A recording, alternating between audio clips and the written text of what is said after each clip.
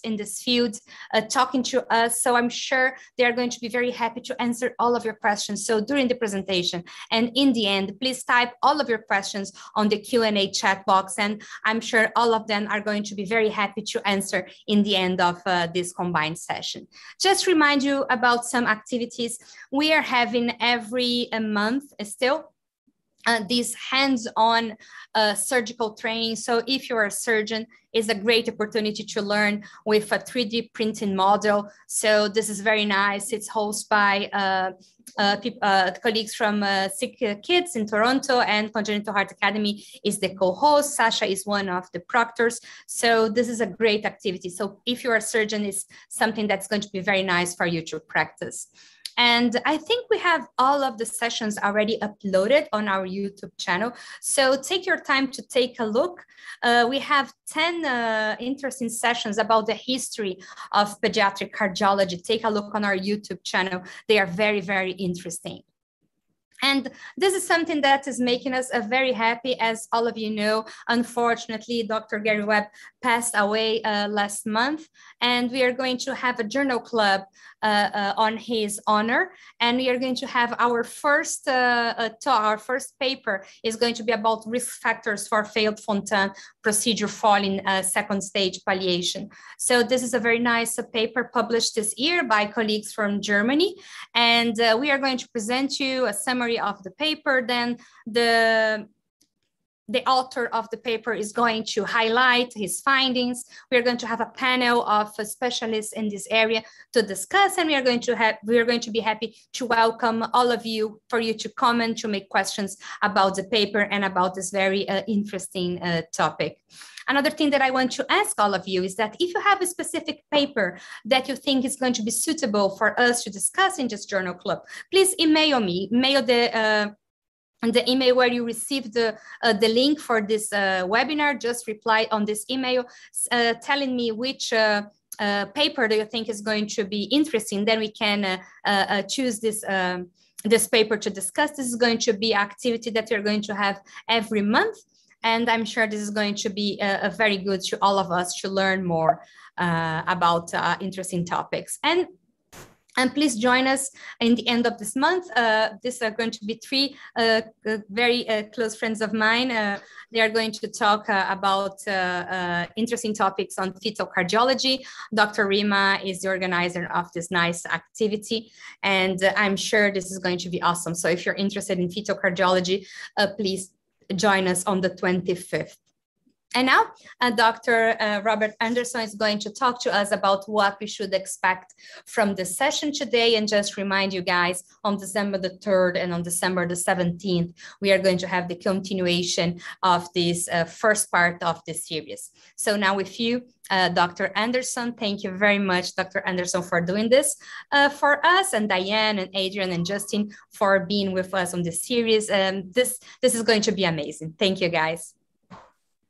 Well, thank you very much, Grace. I just want to say a few words to everybody before we start today's presentation. I think everybody will be pleased to see that I'm back in my sitting room. Last year week, as you know, I had a little kerfuffle with my email, but uh, now the web is linked up again and I am sitting in my sitting room, as Grace said, at the end of the presentation, I will be ready, as will my colleagues, to answer any questions you may have. But I just want to say a few words about what we're going to see today. Grace has already told you that we have three sessions now that are going to lead us up to Christmas. And what we're trying to do now is to link everything that we have done with development to morphology. And I'm going to be taking a back seat in these presentations. In fact, I've not seen the full presentation that we're going to look at today. I've introduced it, as everyone will see, but the work is now being done by Diane, who is presenting the videos of hearts and we're joined by Justin, who presents CT images. Today, we hope at the end of the session, Adrian will join us, but that might not be possible because I know he's working hard in the intensive care unit at the moment. If all goes well, Adrian will join us. But Sasha has put all of this together to produce the continuous narration that you're all going to see very shortly. I'm grateful for Sasha for all the work he's done, but I'm particularly grateful for all the efforts that Diane and Justin have made to put all of this together. And this, if you all like it, this is going to be the way forward because we're going to try to do the same thing with our next two sessions in the lead up to Christmas. We're going to try to link the developmental information with the anatomical information. And then, if all goes well, when we continue our sessions next year, we will be doing the same thing. I will be putting the developmental parts. Hopefully, Diane will be matching that with morphology, and Justin and Adrian will be continuing that to take us into the clinical setting. So Sasha, let's start the video and let's see our introduction to basic anatomy.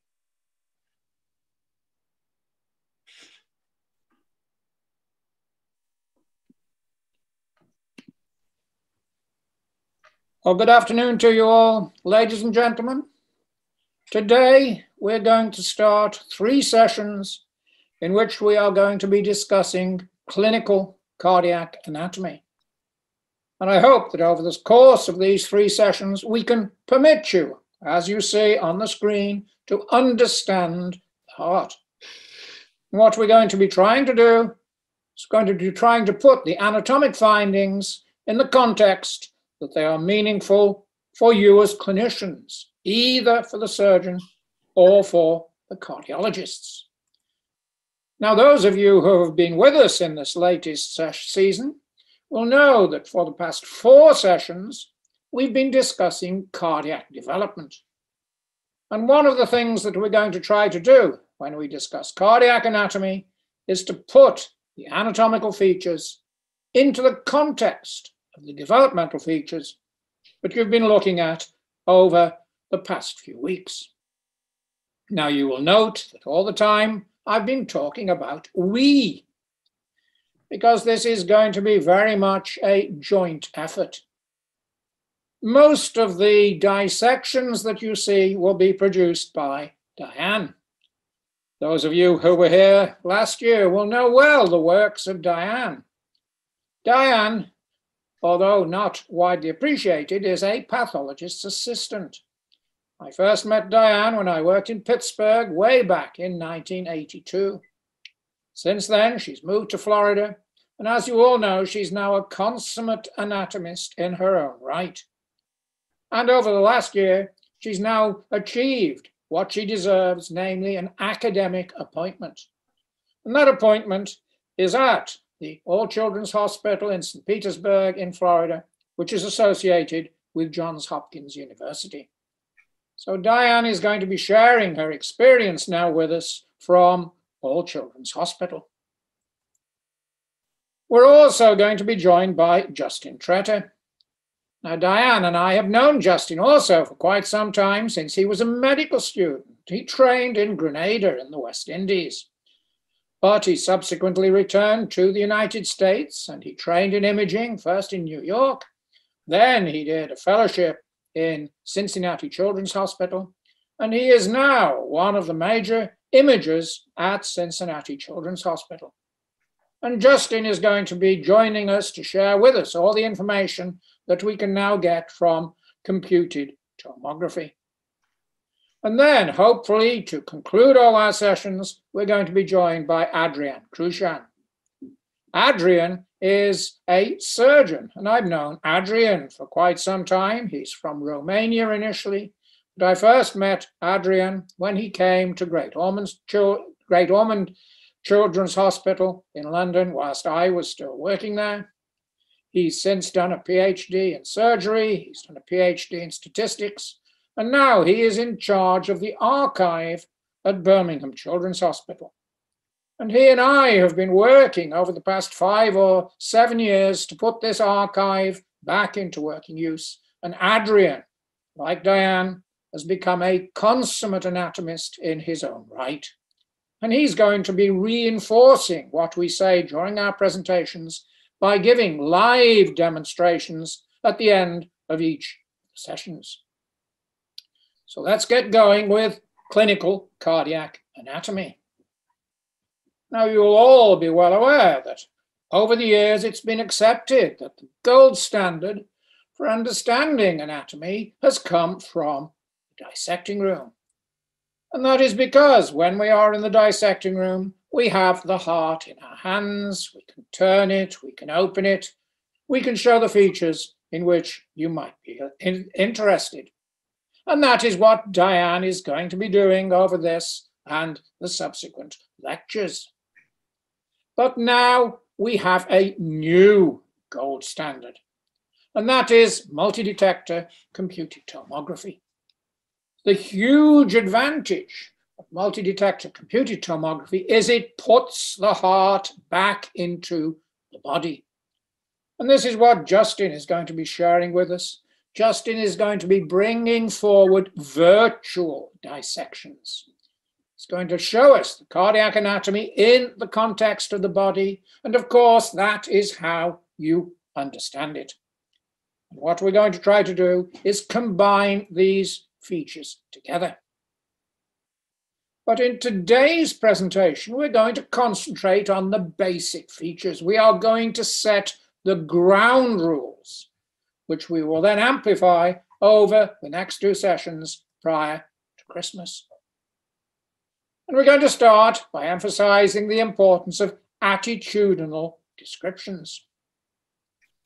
We're then going to emphasize again, perhaps the most important feature of clinical cardiac anatomy, and that is the principle we call the morphological method.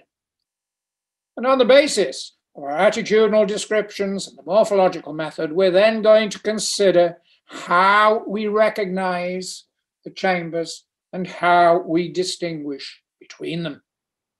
And that's what we're going to do in this first of our sessions, which is the introductory session. In the next session, which will take place in two weeks' time, we're going to take these principles and we're going to use them to examine the atrial chambers and we're going to look at the atrioventricular junctions.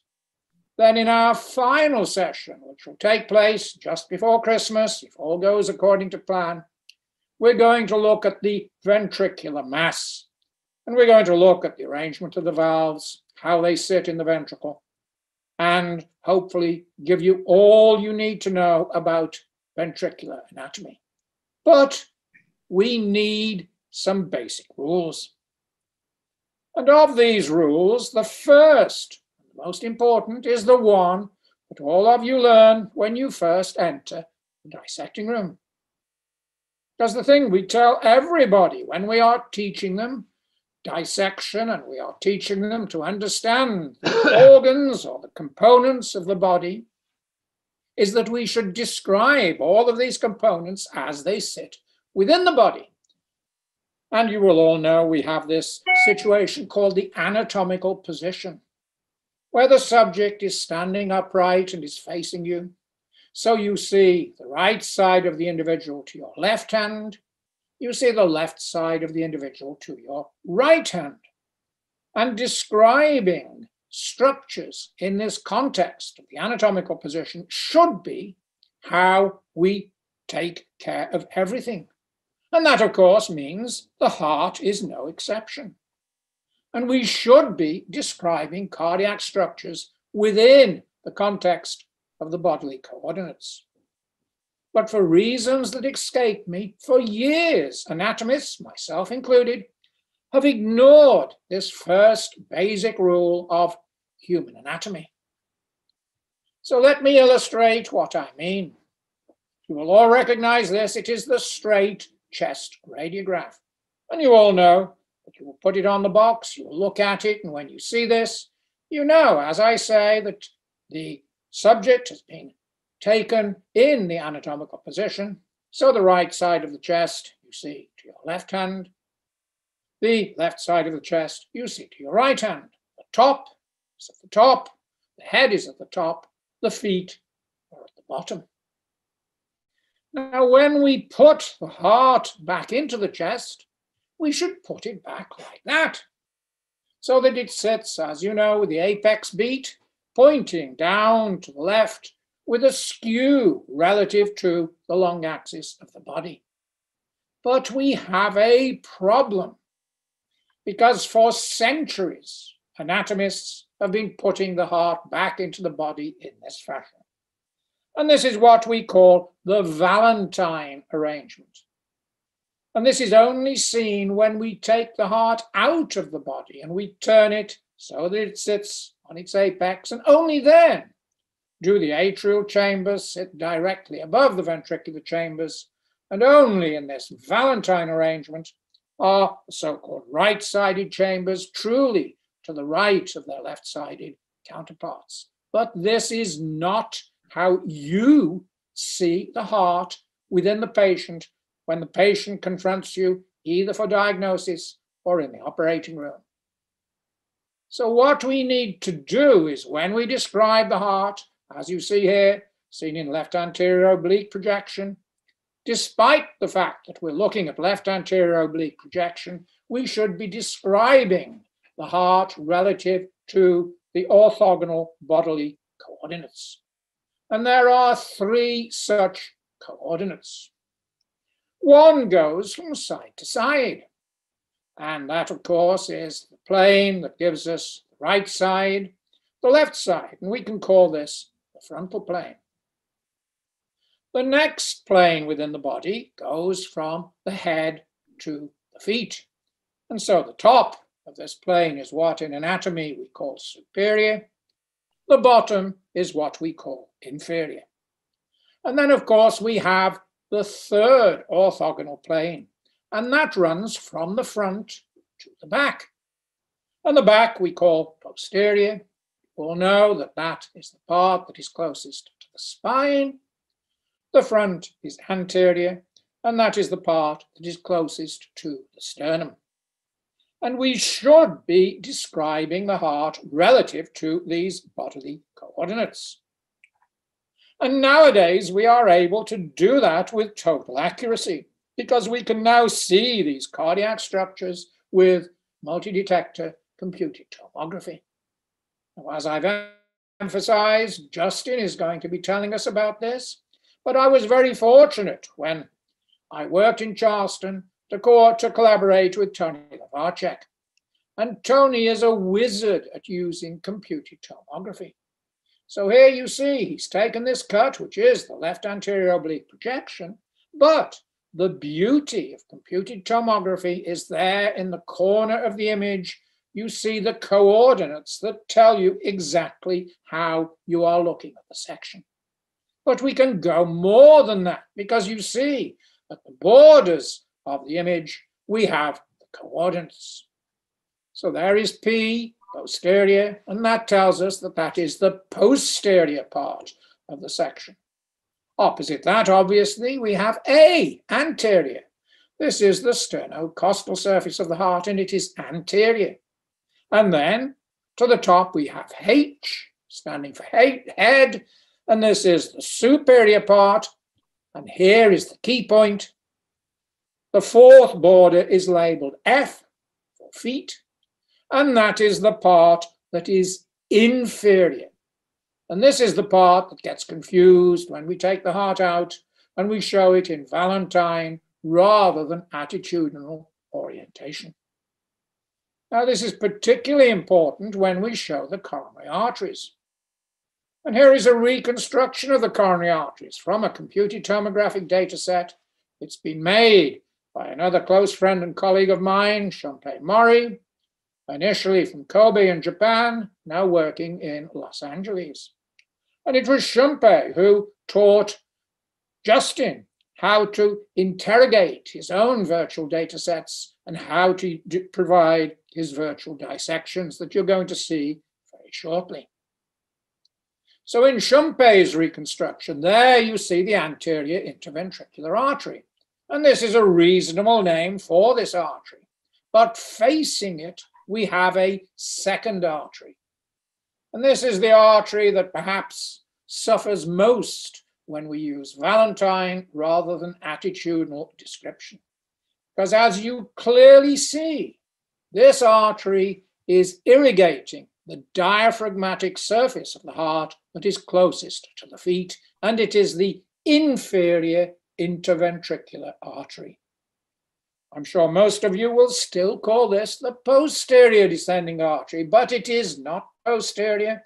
And if you look at its trajectory, you see that it is primarily horizontal and it might even be ascending as it moves to reach the cardiac apex. And this shows us the importance of using attitudinal de determination. And this is now what Diane is going to show you.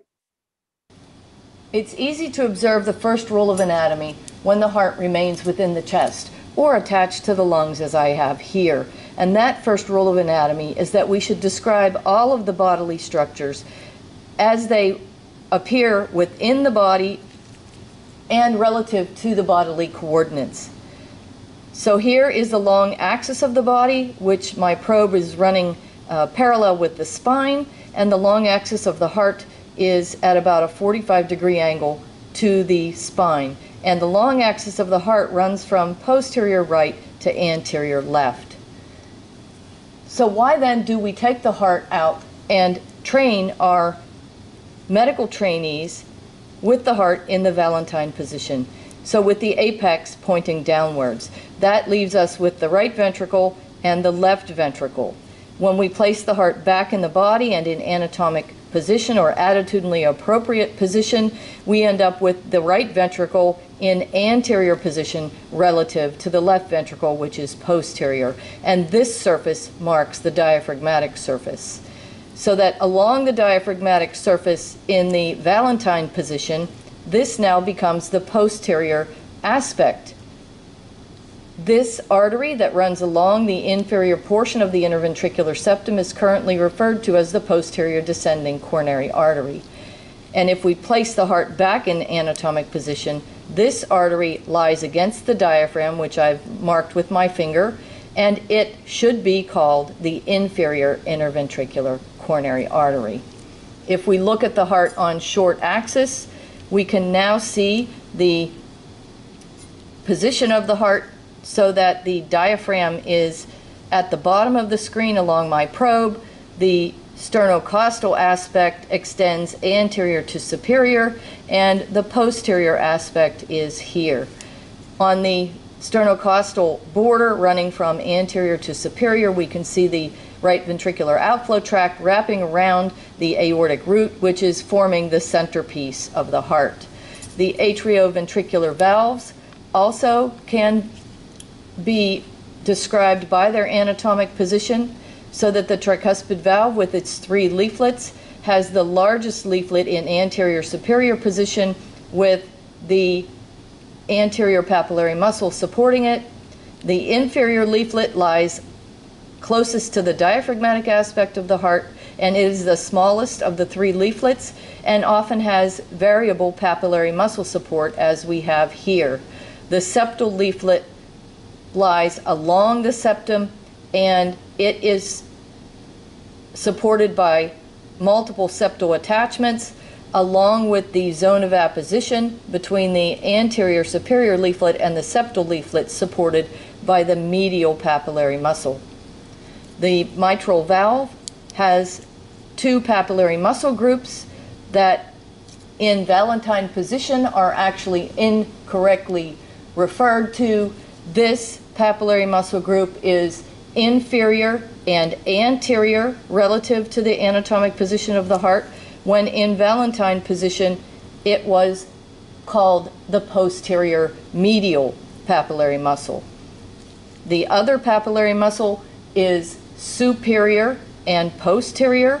When in Valentine position, it is called anterior and lateral.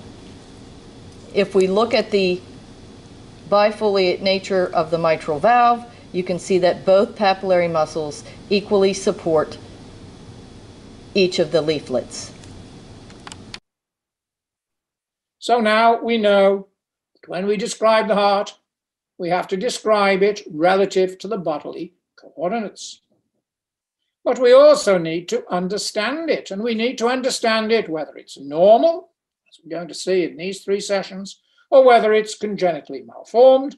And we're going to take the principles we established today next year when we look at congenitally malformed hearts. And you all know now that if we are to make an accurate diagnosis, we need to approach the heart in sequential, segmental fashion. So we need to establish what is going on in the atrial chambers. We need to know what's happening within the ventricular mass. We need to look at the arterial trunks. And when we know the arrangements of those so called segments, we can look at the junctions between them. But if we are to do that, then we need to know how to distinguish between the components in these chambers. And this is where we come to this key principle, the so called morphological method. Now, I've talked about this on several occasions previously with you, and I've emphasized to you how it was introduced by my good friend Richard Van Praagh when he criticized, rightly, one of our own presentations, and that was when we were trying to disqualify chamber in the heart from ventricular status. And Richard pointed to the fallacy at the time of our approach, because we were trying to use one feature that was variable, ventricular inlet, so as to diagnose the ventricle itself. And Richard rightly pointed to the fallacy in this approach. And what he said, we should use the most constant component of any chamber for definition. So Diane now is going to show you the problems that exist when you seek to use an, a variable feature to try to define the, the nature of a given structure, in this instance, the atrial chambers.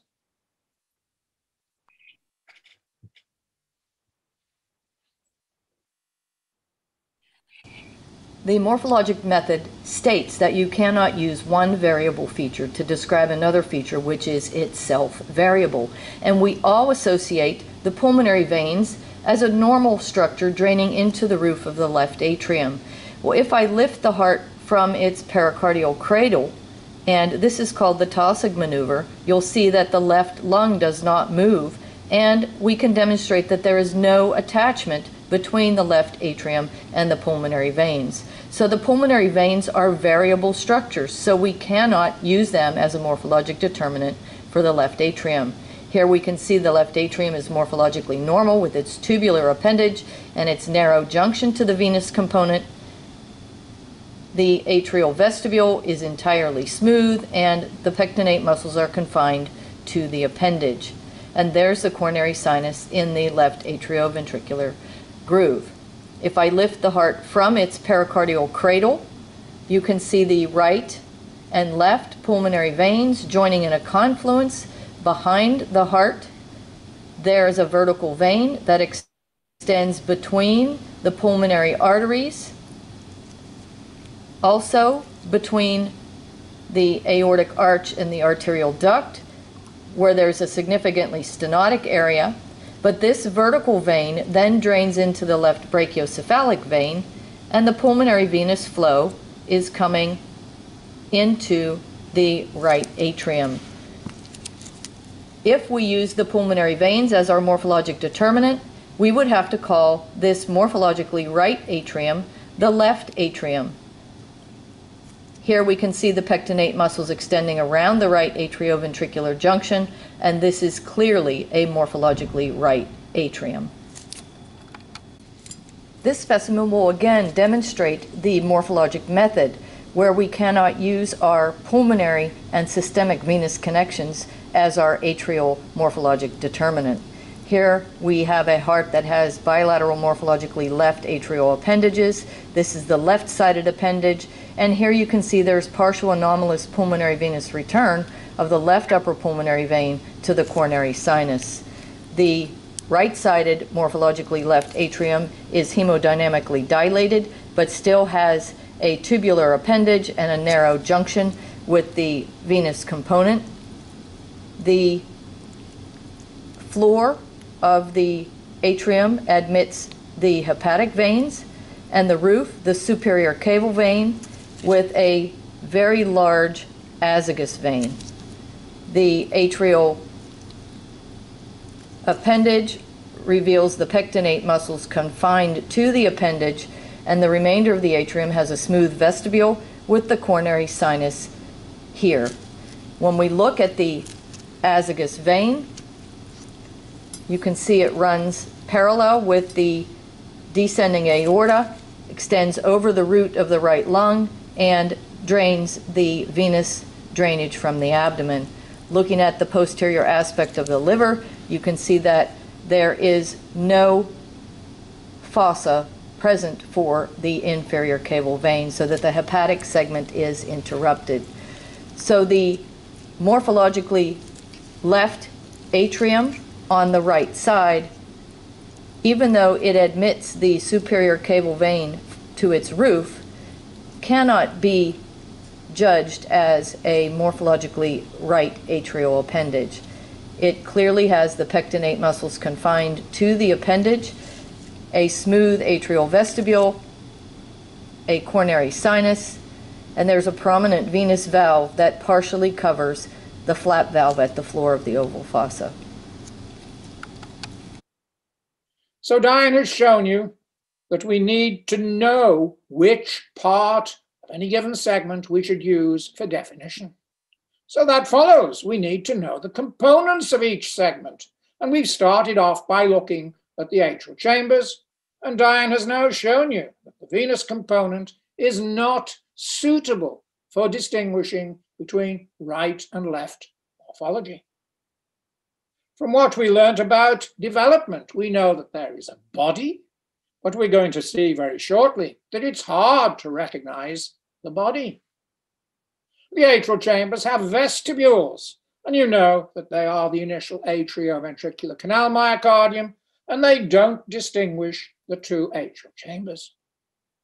The septum separates the chambers. It's not nearly as big as we think thought it was. It does have features, but it's not always present, so we can't use the septum.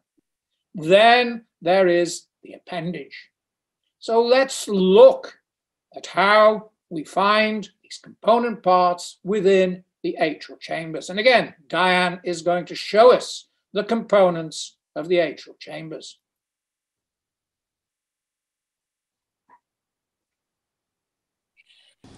The atriums have five components, and we'll begin on the right with the appendage. So we know the right appendage has a blunt or triangular tip, and the anterior aspect makes up the entire extent of the right atrial appendage. It also has a broad attachment with the venous component, and here you can see I'm placing my probe in the superior and inferior caval veins. And within the atrium, the venous component is actually quite smooth.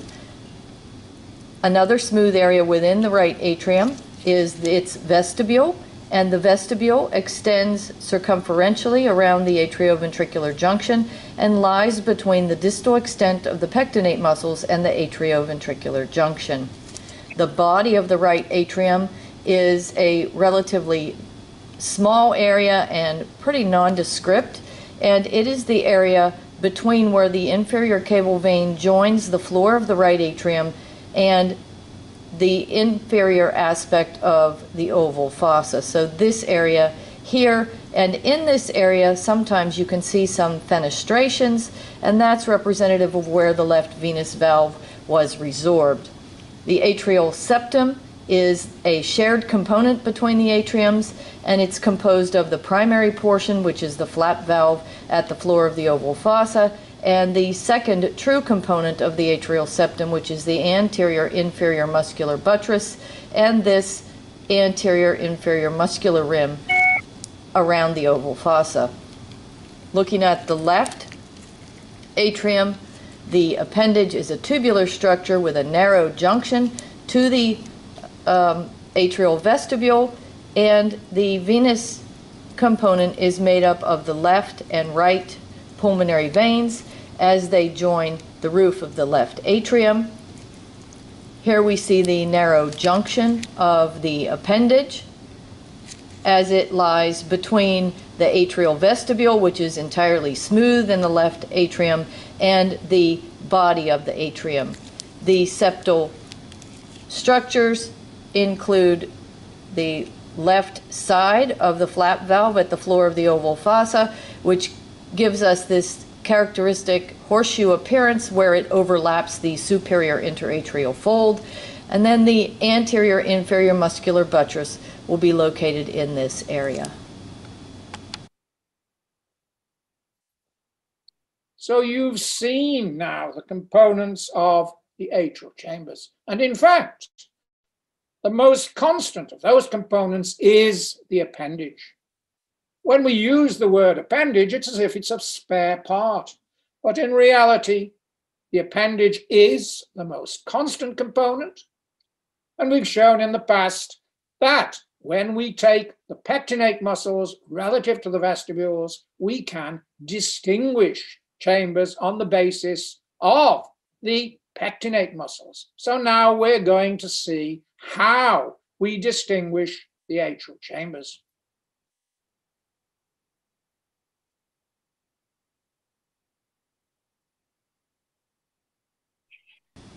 The extent of the pectinate muscles within the atrial chambers is our morphologic determinant.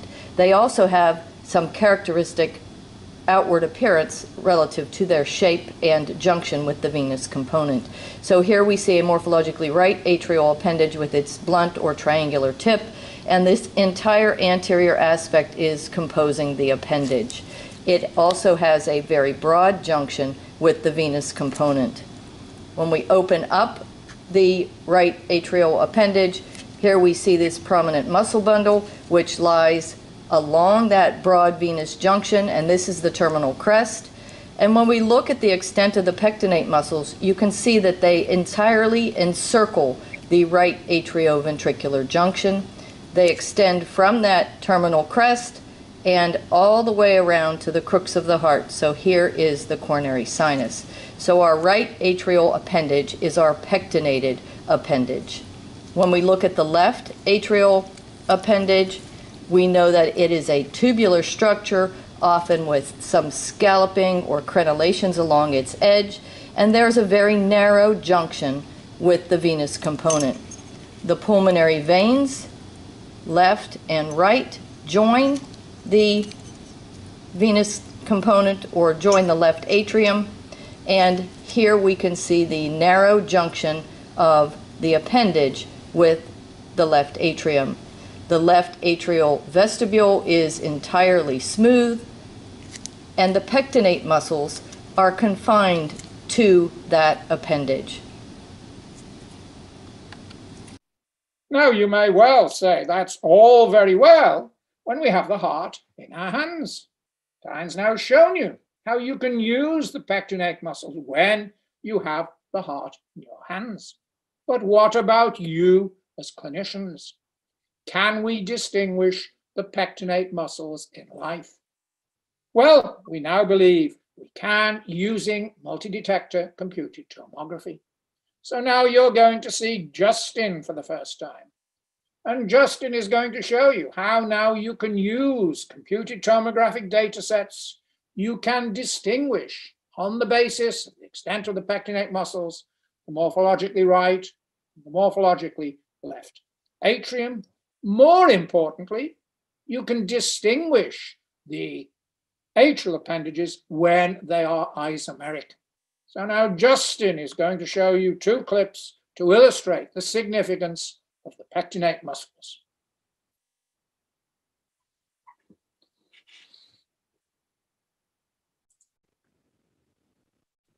Thank you, Professor Anderson.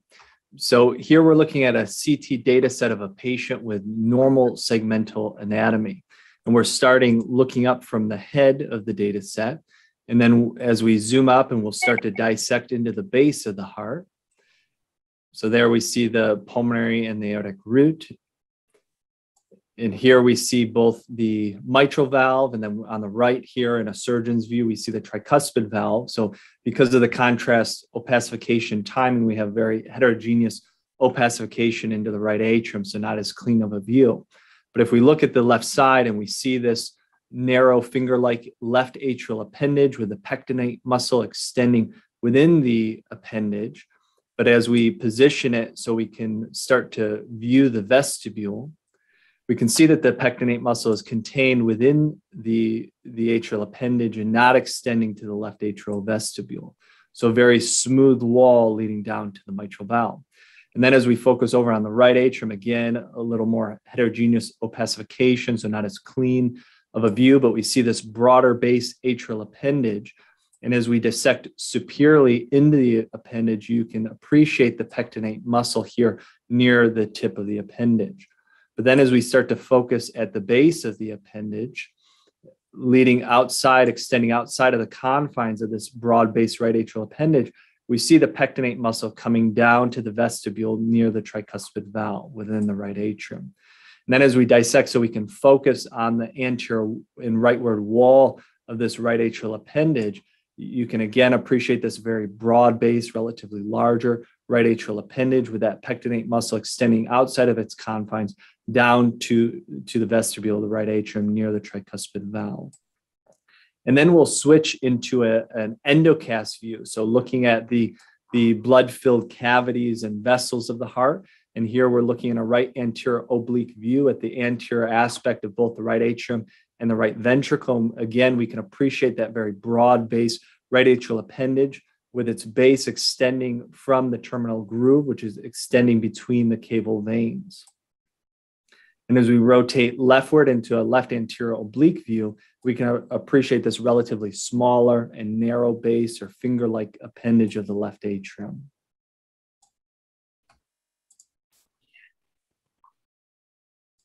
In this patient, we'll start anteriorly. So we see the EKG leads on the chest. Then as we start to dissect into the chest, we'll go through some very interesting anatomy that we won't focus on. But here we see the right atrium and, and the right ventricle, right under the septal leaflet of the tricuspid valve near its commissure with the anterior superior leaflet. We see a perimembranous VSD. Focusing on the right atrium here, we see a large secundum ASD, and we see ipsilateral drainage of the pulmonary veins on either side of this deficient primary atrial septum. But as we start to dissect into a short axis, looking at the base of the heart, Again, we're looking in a surgeon's view. So here on the right is the tricuspid valve. Here on the left is the mitral valve. And we see these dilated atrial appendages. But if we look more closely, we see that both have a more finger-like morphology to them, but more importantly, we see the pectinate muscle here on this left-sided appendage is contained completely within this atrial appendage with a very smooth vestibule leading down to the left-sided AV valve or mitral valve. So that morphologically, this is a left atrial appendage.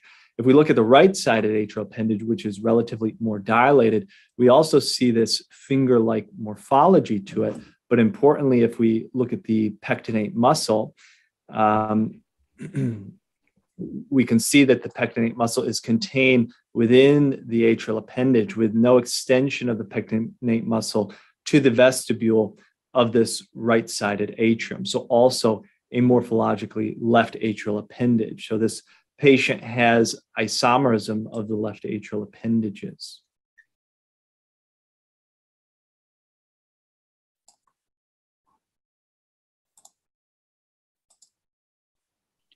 But you're all well aware that even though we can distinguish the pectinate muscles using multi-detector computed tomography, you don't always have access to this diagnostic technique.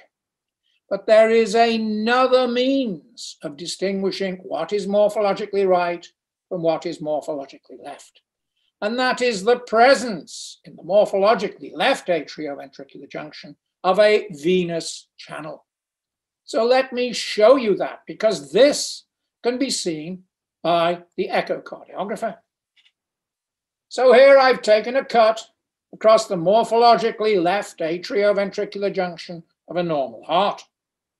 You're seeing the mitral valve. And there, within the left atrioventricular junction, you see a venous channel. And you all should know that is the coronary sinus.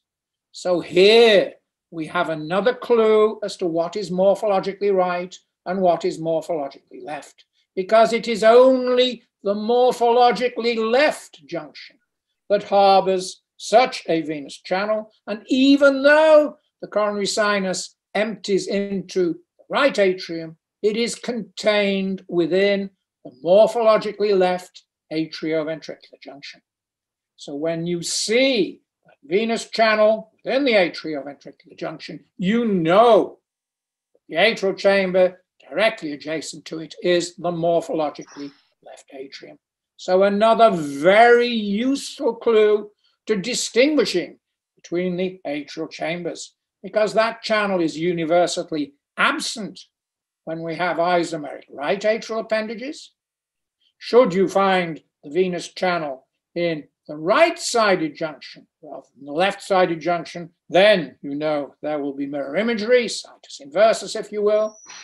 The arrangement is variable in the setting of left isomerism, but it is a very useful marker for distinguishing between the atrial chambers. So that's the distinction between the atrial chambers. Let's then move on and let's look at the ventricular segment. Now I have to start by emphasizing it extends from the atrioventricular to the ventricular arterial junctions.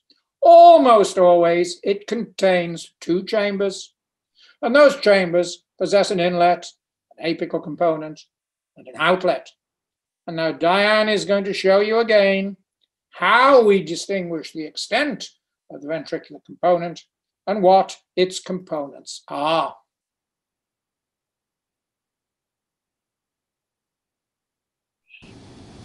Here we're looking at a long axis view of a normal right ventricle where the free wall of the atrium and the ventricle have been removed.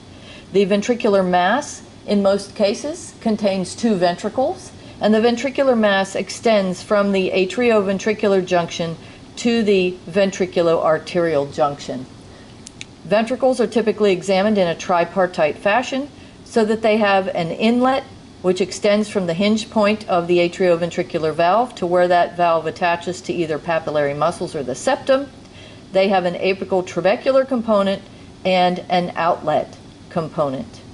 If we look at a similar view of a left ventricle, again, a long axis type of cut, we can see the inlet from the hinge point of the mitral valve to the attachments to the tips of the papillary muscles, the apical trabecular component, and with the aorta in the outlet component. So you've seen that the ventricular mass, each of those chambers within the ventricular mass has three components, inlet, the apical part, the outlet. We know it is the apical part that is most constant. So now Diane will show you the significance apical component, but she'll also emphasize that when chambers are normally constituted, you can also take account of those other parts, in particular the inlet part and the arrangement of the atrioventricular valves. And then Justin will take that on and will show you how we can relate that to multi-detector computed tomography.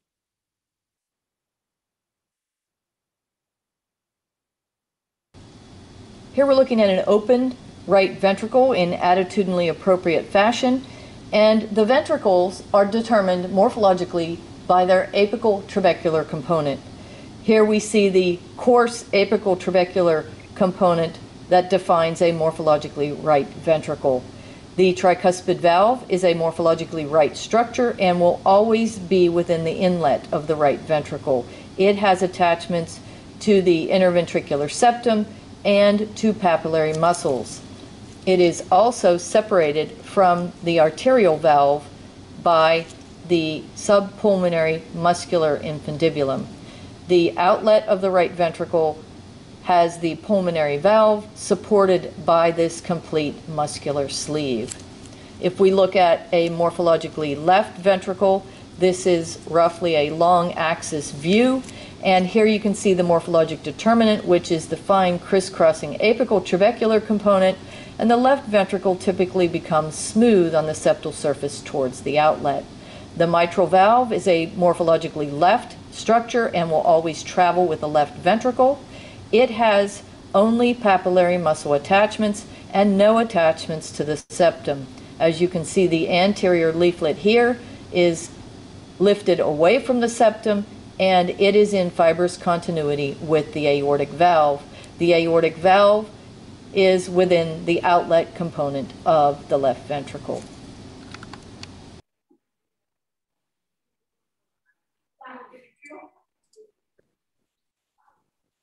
This is the same patient that we looked at with the normal atrial appendages. So now we're starting anteriorly uh, at the anterior chest and we start to dissect in, and here we see the short axis of the ventricles looking from the apices up at the base of the heart. So here we have the morphological left ventricle and the morphological right ventricle. You can appreciate right off the bat the coarser trabeculations, even though this left ventricle is dilated with some hypertrophy, the trabeculations are much more fine, lacy, crisscross trabeculations. On the right side, the, the, morphological right ventricle, we also see this moderator band, which is attaching to the free wall of the right ventricle where that anterior papillary muscle is inserting. And as we start to dissect into a right anterior oblique view, so we look at the rightward aspect of the interventricular septum. Again, if you remember, this patient has heterogeneous contrast opacification within the right atrium, but here is the septal leaflet of the tricuspid valve. And then we can appreciate the inlet, the apical trabecular, and the outlet components of the right ventricle. Here is that moderator band coming towards us from the septum to the ventricular free wall, the septomarginal trabeculation coming up, dividing into its anterior cephalad and posterior caudal limbs. And at the posterior caudal limb is where we see this important structure the medial papillary muscle or papillary muscle of Lancisi, an important landmark for the surgeon where the right bundle branch will emerge along the endocardium of the uh, interventricular septum here. So very um, obvious landmarks of a morphological right ventricle. And as we look at that septomarginal trabeculation, coursing between it and to the free wall or parietal wall, are these septoparietal trabeculations that go all the way up into the outflow near the pulmonary valve. So, very telling of a morphological right ventricle. And then, as we come back over to look at both ventricles in a four chamber view, again, ignoring this heterogeneous contrast opacification, this is the septal leaflet of the tricuspid valve. And when we compare it to the attachment of the aortic leaflet of the mitral valve, or anterior leaflet, we can see that the septal leaflet of the tricuspid valve is more apically positioned. We, we also, again, this patient has severe aortic regurgitation, so a dilated and hypertrophied left ventricle, but the trabeculations are much more fine, lacy, crisscross compared to these coarser trabeculations on the right. And then here, as we go into a three chamber view, looking at the leftward aspect of the interventricular septum, you can appreciate how much more relatively smooth it is when we view that right side, where the right side had those septoparietal trabeculations. We have no trabeculations leading into the outflow towards the aortic valve. So now we've distinguished between the chambers, the atrial segment, we've looked at the ventricular segment, and we've determined how we will distinguish what the morphologically right from the morphologically left ventricle. So the third segment, of course, is the arterial segment, and that usually contains two arterial trunks. Now, here we come to a problem because there is no direct means of distinguishing between the arterial trunks on their basic anatomical features. But without exception, in my experience, we can distinguish between the trunks according to the way they branch. And on the basis of their pattern of branching, we can distinguish in the normal heart, the aorta, the pulmonary trunk, and when the heart is congenitally malformed, we can distinguish the presence of a common arterial trunk, and we can distinguish that variant where there are no intrapericardial pulmonary arteries, the arrangement that we call the solitary arterial trunk. But today, we are concerned with the normal arterial segment. So now Diane is going to show you how we distinguish between the aorta and the pulmonary trunk, how we show the intrapericardial, the extrapericardial components, and then Justin will put that into the context of the living patient using, for this purpose, computed tomography.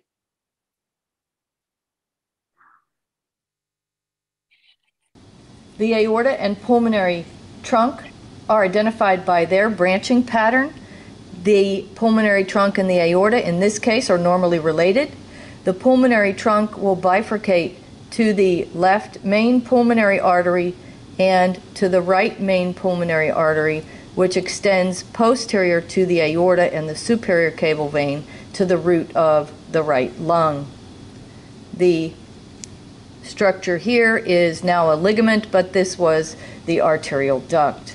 The aorta is identified by its branching pattern, the first branches of which are the coronary arteries, and here we can see the right coronary orifice.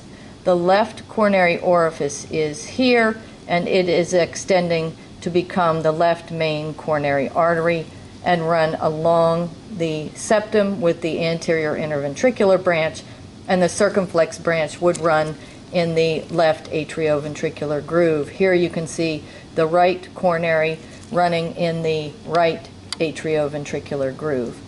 The remaining branches of the aorta are the brachiocephalic arteries, the first branch of which is the brachiocephalic trunk that bifurcates into the right subclavian and the right carotid. The next branch is the left carotid and the left subclavian with the arch extending over the root of the lung on the left.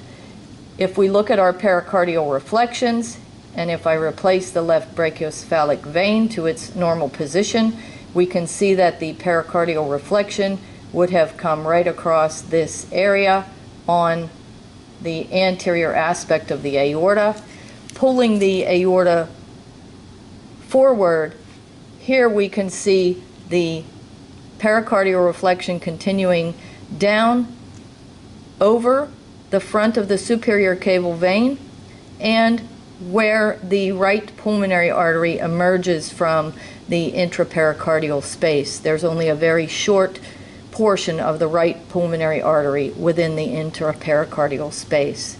On the opposite side, the pericardial reflection extends over the anterior aspect of the aortic arch, across where the arterial duct joins the pulmonary trunk,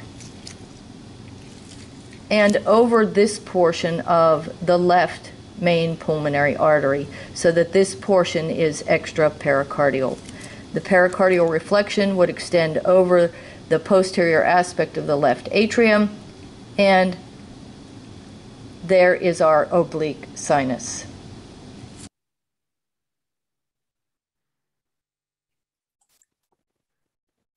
using the same patient with normal segmental anatomy, we're now looking at a fluoroscopic appearing image anteriorly where we see the silhouette of the cardiac mass. And then as we go forward, we'll put the heart back into the chest. So we see the right ventricle positioned more anteriorly with the left ventricle more posterior and leftward.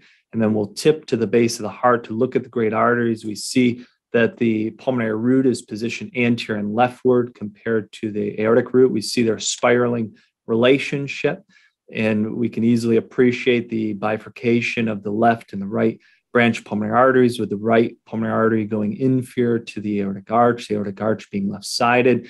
We see the head and neck vessels identifying this as the aortic arch. And then as we uh, look down further, We'll then switch into a virtual dissection. So here we're looking at the aortic root in short axis. We see the three leaflets of the aortic root, and I'm now going to position this into a surgeon's view. So we're going to rotate this all the way around. So now here's the right atrium and the left atrium. We can see the mitral valve with the aortic root wedged in between the AV valves. We can appreciate the coronary arteries, the left main and the right coronary artery and the aortic root is intrapericardial. And then as we start to come up superiorly, here is the pulmonary root, also intrapericardial. And as we start to get into the pulmonary trunk and the ascending aorta, we then become extrapericardial. and we can start to appreciate the bifurcation of the branch pulmonary arteries into the left and the right branch pulmonary arteries with the right coursing posterior to the ascending aorta and the right superior caval vein. So there we have it. We've now established basic cardiac anatomy. We've stressed the importance of the attitudinal approach. And I hope now you will all be describing the cardiac components as you see them in the living patient when the heart is in the chest, because that is how the surgeon also sees the heart when the patient is undergoing surgical correction. I hope we've now emphasized again how important it is to use the morphological method to distinguish between what is morphologically right, what is morphologically left, and how, once we have distinguished between the components of the segments, that sets the scene for subsequent sequential analysis when we determine the arrangement with what is going on at the junctions. But most importantly now, by combining the images you've seen produced by Justin using multi-detector computed tomography with the dissections and the hearts that Diane has shown you, I hope you now appreciate that all of these features can be identified just as well during life as when we have the heart in our hands. And As I say, in our next session, we're going to use these rules, look at the atrial components of the heart, also be looking at the atrioventricular junctions. And then in the final session for this year, just before Christmas, we're going to look at the ventricular mass. So there we are, the basics of clinical cardiac anatomy. Thank you very much, guys. Amazing session. I think this format is going to work very well. I don't know what you guys think about it, but uh, I, I, really, I really liked it. Uh, I think uh, uh I'm happy to see that Adrian has joined us. So I think he has some uh, things to show to us. This is correct, Adrian. Hi. Hi, can you hear me? Yes. Hello. Thank you very much. It was really exquisite images from Diane, and I really enjoyed the reconstructions from Justin. Uh, amazing one. So, Prof, thank you again for a wonderful session. I have a few questions and a heart to show. Uh, hopefully, I won't get cold. Uh, first of all, it is indeed difficult that different practitioners working with the heart have different views on it. So you, you'll know that imaging people doing cross-sectional um, procedures, they will see the heart from the bottom up. Surgeons will see the heart from the right side. So the main surgeon will sit on the right side of the patient. Anatomists will see the heart in any position they want because the heart is outside the chest. But I think it's such a great value to be able to do the 3D analysis in your own head. Even if we are not going to convince people to change their uh, topological points, they have to be able to go back to the attitudinally correct position, how the heart sits when we talk among us. I think that's a very I important you point. For just a moment, can we get Adrian's screen into? Uh, in, can we bring Adrian's screen to be the main screen, please? And then um, I don't know. Um, I don't know exactly why it's not coming your as the main one. Because you're you're using your own video, right? Yeah. Can you hear me? Yeah. Yeah, we can hear you and we can see, but you, you, you, are not uh, the the main uh, the main view now. I don't know why. Okay. Adrian, when you're going to share the screen, you need to click on the uh, picture of the heart to get it into the main screen. It's not in the main screen yet. No, I think that uh, uh, is Sasha in charge of who, manipulating the screens. No, not really. It's it's supposed to be automatic feature of Zoom. Whoever is speaking appears uh, as as uh, the bigger one when you are not sharing your screen. But when Adrian, can you can you try to share your screen? Do you think it's possible? Uh, yeah, it's shared. Yes. Okay, and let's see if now you can change to your video there. But you're doing this live, right? It's, it's not the way. I haven't done anything different from. Uh, yeah, from the other ones. Yes, I know. Before. It comes automatically. Yes, I don't know why it changed. Zoom had had one uh, upgrade or something like that, and maybe something changed. I'm sorry for that, guys. Okay. Uh, now try to stop the share. Maybe you come to the main okay. screen. I'll stop sharing. Ah, Right. Well done. Yes. Okay. Perfect. Perfect. So, well, go back to to the comment. One was indeed the fact that it's difficult to convince different people using everyday different methods, but there is no excuse for whoever works with the heart for not being able to go back to the original correct attitudinally um, position when describing um, the cardinal points. The second one, Professor Anderson, do you think we will um, get to consider the venous component as a fourth segment of the heart. It's a very good point. I mean, uh, people have uh, suggested we should think of the venous component and we can think of the venoatrial connections as a, a third junction within the heart. I see no reason why we shouldn't do that. Okay. What, one other question is about the terminal crest what's the relationship in identifying, especially on the CT? It may be easier to identify sometimes a good terminal crest with the extent of the pectinate muscle. What's the link? What's the association between that? I know you, you were part of a study in the past. Well, the, the pectinate muscles extend from the terminal crest to run down uh, to encircle the vestibule. So you are correct. Identify because the terminal crest is lacking in the morphologically left atrial appendage. So identification of the terminal crest is also a good marker. Okay, so, um, and one other thing refers the terms that we use to define the pectinate muscle, the extension of the pectinate muscle. We have to stress that if I'm correct, pectinate muscle is confined in both appendages. Correct. It is not that when we say it's confined in the left atrial appendage, people might understand that it's not confined in the right atrial it is confined. It is the extent and the way the appendage connects with a small body and with a different type of sinus component, the venous component, that gives the impression that pectinate muscle somehow is out of the appendage. It is not out of the right appendage, of you the morphologic right. You are entirely correct. And it is the extent of the left, the appendage wall on the right side, as you say, which is the key feature. So the appendage itself encircles the vestibule on the right side. It does not encircle the vestibule on the left side. That's Thank a very you. important point that you have emphasized. On the coronary sinus, people use coronary sinus either referring to the mouth of the coronary sinus, which opens in the right atrium, the morphologic right atrium, or describing the venous, venous channel in the left atrioventricular junction. So we just have to be careful whenever we discuss the coronary sinus, what exactly we mean by that. Well, indeed, you will note that when I described what was going on, I called it the venous channel. Yeah. Rather than the coronary sinus, but it is in a, is a, I mean, we could, part of it will be the great cardiac vein but it is the presence of the venous channel that tells us we are dealing with the morphologically left, left junction.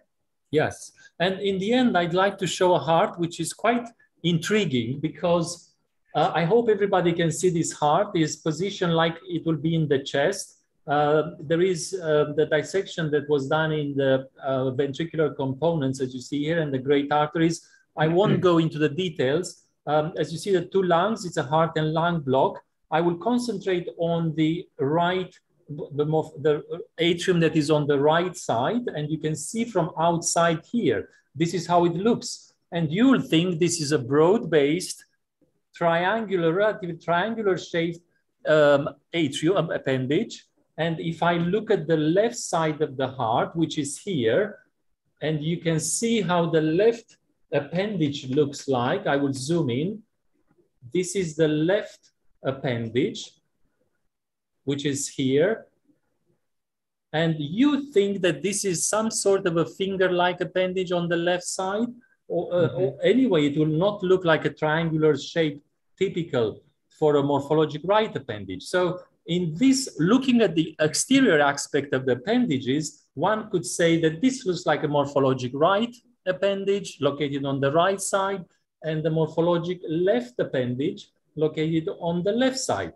I'll turn the heart back. I'll look from the back of the heart. So this will be the appendage that is located on the right side, the one with broad base, as you see here. And when I look inside, the pectinate muscle is confined, as we say, inside the appendage, but has no weight and it doesn't arrive in the vestibule part. It's all inside there, as you can see it. If I look on this appendage, which is located on the left side, that one that looks like a morphologic left, and if I open this appendage, look, pectinate muscle all around the vestibule on the left side. So my word of caution, and of course, when I look at the heart from the back, you'll see that this is really a mirror image arrangement because this is the right bronchus on the left, the one that is oblique and short, and this is the left main bronchus, but also the lobation of the lungs. You'll see that on this lung, there are three fissures. On this lung, there are only two fissures. I'll turn the heart back to show you better that. So on this side, I have three fissures of the lungs, one, two, three, and on the left side, on this lung, I only have two fissures, bilobe lung on the right side. So that appendage that we thought from outside that it may be a right one is actually a left one and vice versa on the left side on this one. So it's a mirror image. When we get to CCTGA, this is actually a double discordant connections heart, very interesting. But I just wanted to show that especially for surgeons, this is especially for surgeons because they are used to describe appendages by looking from outside. And then if you not dissect, if you not incise the atrium, you'll never be 100% sure what kind of morphology of the appendage is. And when we look on the right side of the appendage, because that's the, the atrium that mostly we dissect, we have to look for the coronary sinus mouth and for the terminal crest from inside. That's all I wanted to say. Thank crest? you. Can you see the terminal crest in this heart, um, Adrian? Uh, yes, on the right side. The left, the more on the left, it's actually left-sided. Yeah, on the left side, wh where is the morphologic right? Right, it's here. It there it is. Because it also has a superior caval vein on it this is. side. That is an amazing heart, yes. Adrian. And it yes, you see how nicely it inserts on this Absolutely. terminal crest. I, I think that's uh, that heart really, uh, Bob, should be part of your permanent collection of argument because we can't see you, how... Norman. You, Pardon? We can't see you. Have you got your video? I have. They won't let me in. I've tried to to get on. Okay, and it says unable to start the video. So Grace has to let me in, but otherwise I'm here in blank form and um, I'm not that perfect you. to look at anyway. We can hear you. So uh, the, I think that the, the point about the um, terminal crest is vital. I've been looking at this now uh, in many fetal hearts, and even from the fetus, you can see the terminal crest. And I think the terminal crest is still part of the uh, real appendage morphology.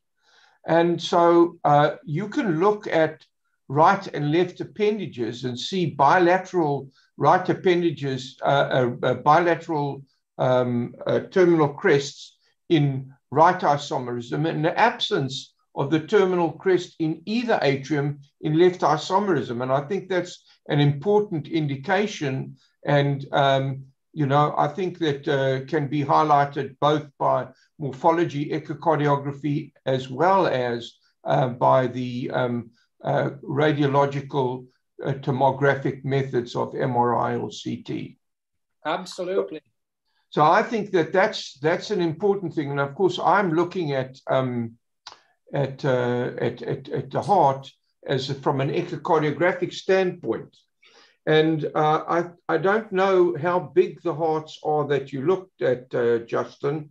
I don't know whether Justin's still with Justin us. Justin is not with us, unfortunately. So uh, he has a very busy day on Fridays, so we pre-recorded all Justin's material. So he's not with us today, but Diane is with us and Adrian is with us. Well, I, I think that so it's very hard to see um, pectinate muscles most of the time from surface echocardiography.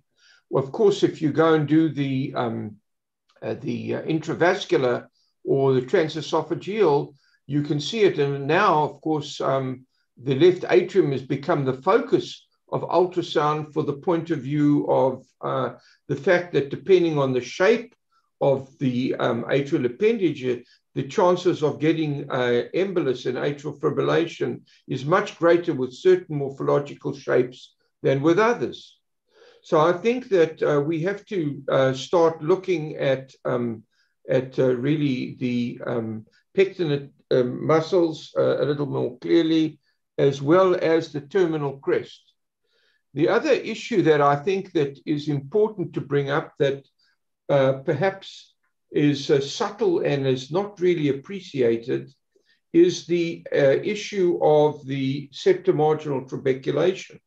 It's obviously easy to see on morphological method, but uh, I think on echocardiogram you can often see the um, the um, septomarginal trabeculation as it runs on the septum because there's often a demarcation within the musculature which separates the um, septomarginal trabeculation from the rest of the septum. And indeed, it's one of the reasons we get septal hypertrophy. Also, in chronic right ventricular dilatation, the septomarginal trabeculation is lifted off the uh, rest of the septum and appears as a freestanding structure. So I think that uh, that's one of the things that I looked at uh, on the CT scan that uh, Justin showed that was really quite clear, but um, not that easy to identify, and perhaps is easier to identify on the basis of echocardiography. And the one question I wanted to ask Justin is that the heart that he showed was from a fairly large patient and not a small patient, because I think that in the pediatric uh, world, it becomes a little bit more difficult to see the trabecular pattern on ultrasound uh, within the atrial appendages uh, than uh, you can see with the other morphological technologies. Well, Justin is not here to answer for himself, but uh, maybe he will uh, be able to respond to that. We can go. We next when we come back, we can. Uh, so I, would like to ask him. You know, how big are the hearts that he looks at? Because a big heart, it's much easier to see the trabeculations than in a small heart. Well, we're going to be discussing. Uh, he will be when we move on into our session before Christmas, when we focus on the ventricles, we can ask him to discuss that. Oh, we can see you now. Yes, well, now it says start my video. So I, well, there we are. They're welcome. I've I been thought, all the time listening. Good to see you. I'm not. I'm not sure it's an improvement, but there we are. All right. I'm sure it is, Bob. I'm sure it is. Thank you, Grace. You're a lady and Bob isn't. so yeah, very nice session. I think very clear. And um, again, I think that um, I always like to emphasize this for the Congenital Heart Academy is that all of the videos are available on the YouTube site. And um, I always go back and look at the sessions uh, to see what I've missed uh, when I, I do them again. And of course, uh, the pictures are there for everyone uh, to uh, garner as they wish. Okay, right. we don't have we don't have any question on the Q and A showing that was a very clear explanation. and now, Grace, we can only see Grace Van Leeuwen. I don't know what my, my internet. I'm outside on the balcony enjoying the the, the evening, and uh, my internet is not the best here outside. Right, Diane, do you have any comments to make? I think your demonstrations today were spectacular, and uh, they fitted so well with what we saw from from Justin. So uh, the, the one last point. Thanks, Bob.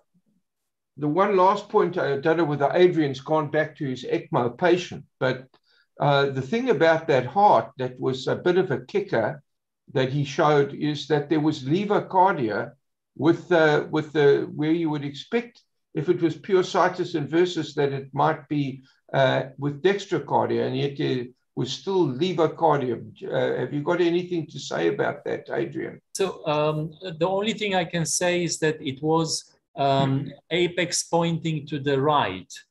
Um, if you look at the heart, how it sits, I don't have the full chest anymore. On the post-mortem, it was described of um, as a right. I don't want to say dextrocardia because prof will will suppress me. We, we don't uh, want to get into a exactly dispute heart, again. Heart, heart in the right chest on the post mortem. Thank you.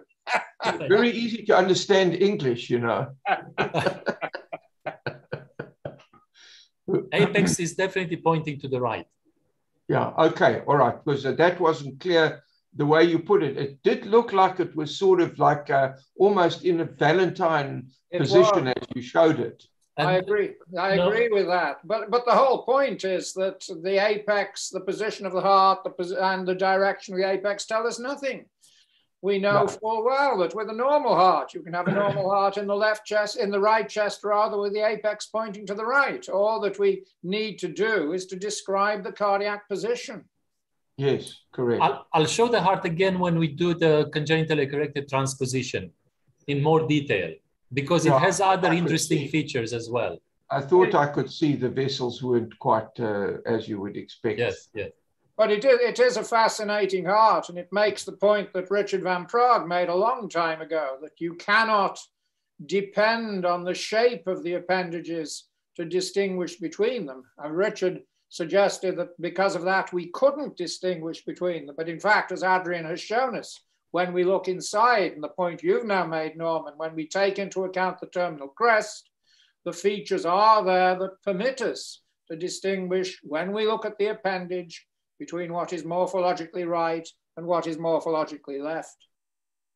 So Bob, one last point uh, for me, uh, thank you for that, is um, the um, argument of Dr. Van Praagh that the uh, chamber that receives the inferior vena cava, uh, or at least the supra um, uh, hepatic portion of the inferior vena cava, is the right atrium, is also violated many times because. Yes, yes, you want to carry on, Bob. No, it, you are right. And uh, I mean, it's paradoxical in this regard that Richard pinned us to the wall when he drew attention to the fact that we weren't using the morphological method when we were defining ventricles. Yet when it comes to the atrial chambers, having defined the morphological method, he then ignores it and says that the venous channels distinguish the atrial chambers. And as Diane showed you beautifully, that is not the case. Yeah, right. I just thought that was a point worthwhile making. Indeed. Grace, do we have no questions at all? No questions today. It was a very clear uh, session. And uh, as we had uh, started this new uh, approach, I think uh, this is going to be even clearer. I think uh, it was a very nice way to, to show the information, Bob. I, I, I'm waiting to to see the feedback, guys. You're all going to receive our SurveyMonkey feedback survey. Please fill it for us and let us know uh, how do you feel about this new format? It's going to be important for us to carry on. But personally, I really appreciate. I think it was beautiful. I mean, Grace, that is a very hmm. important point you've just made. I didn't realize you were able to get a survey monkey because the feedback is going to be absolutely key because if things go go well and certainly the next two sessions before Christmas will be done in exactly the same fashion. Diane will be preparing the video clips Justin will be supplementing them with CT. We hope Adrian will be able to join us. He's managed to escape from the intensive care unit to be with us today. And then Adrian will reinforce, as he has done today, the discussions we have during the session, and he'll be with us live. So it is very important because when we start in 2022, we hope to extend these sessions to consider all the lesions. So it's very important that we get the feedback. When, when Sure. are the next two sessions, please, um, uh, Grace? It's uh, The dates. sorry, December the 3rd and December the 17th. Oh, We know where you're going to be on December the 3rd, Norman. So uh, yes, I'll be with you, Bob. you will indeed. We welcome you. Maybe to- I can join you in your living room. Well, I think you're doing something else on the Friday, but on the Saturday, we look forward to seeing you. Great. That looks terrific. I'm looking forward to that very much. So I would like to thank in particular Sasha, who put all the things together today. I think it worked remarkably well. I was worried as to how it was all going to come together, but I think it really did work well. And for me, I think it was a great session. Uh, so please, everybody, let Grace give her your feedback, and uh, we wait to hear from you. And Diane, also, thank you for those spectacular dissections that you Absolutely, did. Diane. Stella. And we hope that uh, you'll be able to do the same thing for two weeks' time and then again for the ventricles. We will. Hey, Q, hey, Q, how's Q? Thank you. Good to see you, Bob. And you too, how are you? Doing well, doing very well. Thank you. Looking I forward to very- the next season here. Indeed. Uh, I hope you're you're suitably satisfied by everything that Diane is doing and bringing your bringing all children's to the fore again. Uh, she's she's doing she's doing great work, and uh, yeah, it just I I can I just can continue to be amazed at every presentation. It's just the clearest I've ever seen it done. You know, just great. I agree with you there. I think we're we're really charting new territory, and I think I agree with you. The clarity we achieved today was spectacular. Right, agree. So thank you very much, guys. It was an amazing session. Can't wait for the next one and hope to see you all on our journal club on Tuesday, the 23rd. Thank you, guys. And Grace, Okay, thank Grace, you. Yes, yes. you- you have to sort out this business with Zoom because we all we see at the moment is your name, and we need to see your smiling face. This is true. It's my internet connection. It's going to be better next time, hopefully. Sort it all out. Thank you very much, guys. Thank it was an amazing Bye-bye. session. See you guys Tuesday.